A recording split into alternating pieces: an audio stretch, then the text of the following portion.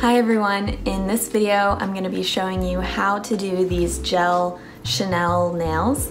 I was inspired to do these because I've been absolutely obsessed with Blackpink these days and Jennie is the global brand ambassador for Chanel and coincidentally yesterday was actually her birthday too so I was like why not I'll just go all out with the Chanel nails.